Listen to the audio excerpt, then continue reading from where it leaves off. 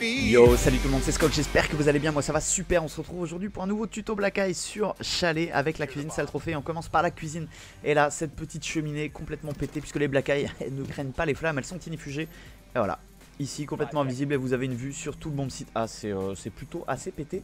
Concernant la salle à manger, bon, vous avez ça, moi perso je suis pas très fan, vous allez voir pourquoi. Euh, elle est assez peu visible, mais elle vous donne pas beaucoup d'infos.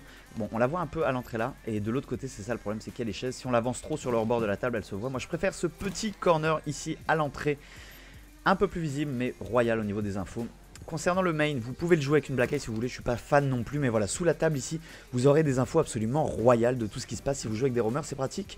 L'entrée Babylone, évitez euh, le ventilateur. Euh, c'est un peu naze, tout le monde joue ça, elle est très visible. Alors certes, oui, mais on voit bien. Non, c'est nul. Euh, le mieux, c'est pas dans les plantes, parce que certes, elle est cachée, mais pour le coup, ben voilà, vous voyez des feuilles, c'est pas très utile. Les corners, vous oubliez. Éventuellement, vous avez ce petit coin ici, elle est assez peu visible, et elle vous donne des bonnes infos, notamment si vous faites un, banditrix. Ça vous donnera des super infos sur la position du termite et également le nombre de joueurs qui rentrent et qui sortent de cette pièce. Le mieux restant pour moi sous l'escalier, euh, soit dans le coin ici, elle est peu visible, soit sous, directement sous les marches de l'escaffer. Alors vous allez voir, on voit pas grand chose, mais vous avez des super infos, ce sont des infos visuelles de ce qui se passe en bas, de ce qui se passe au-dessus, et du nombre de joueurs qui entrent et qui sortent ici, c'est selon moi l'une des meilleures positions.